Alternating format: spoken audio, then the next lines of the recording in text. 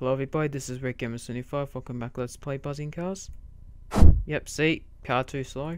For this car, use that.